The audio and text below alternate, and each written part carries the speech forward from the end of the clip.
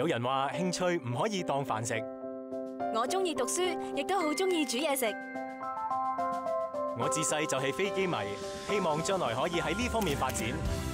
所以我哋报读获资历架构认可嘅职业专才教育课程。将兴趣变成专业才能成为专业人才。